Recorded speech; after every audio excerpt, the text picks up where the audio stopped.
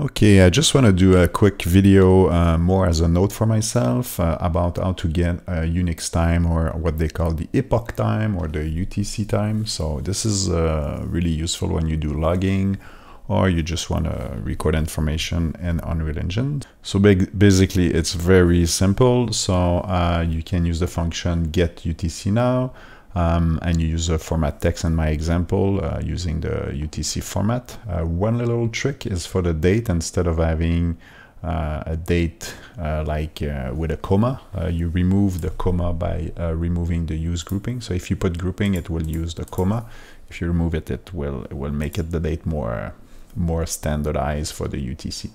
So if I just compile, save, and play, whoops, not play here, but play here, like that so you can see the UTC appear quickly, but just like look on the log file, uh, UTC time right here.